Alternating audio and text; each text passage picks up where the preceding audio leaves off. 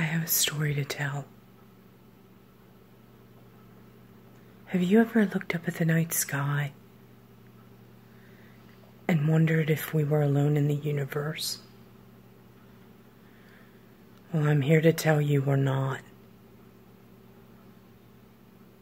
This happened to me years ago. It was your typical suburban night. Cool summer breeze. Kids in the park. I was walking my dog. We turned down a street that we'd walked many times before. It was a dead end, but there was nothing unusual about that. But then my dog started growling. He started emitting this low pitched growl that I've never heard from him before.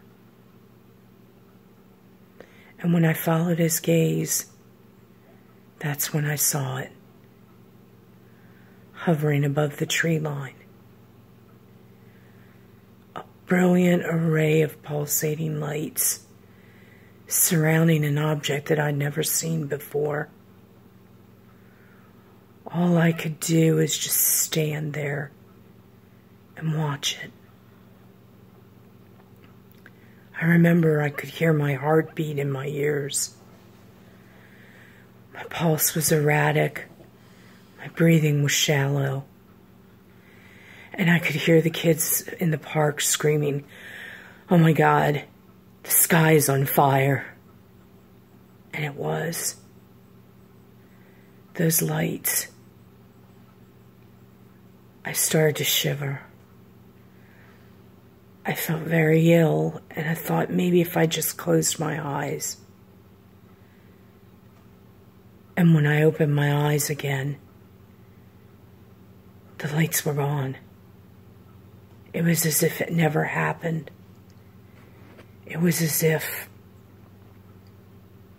nothing was ever there.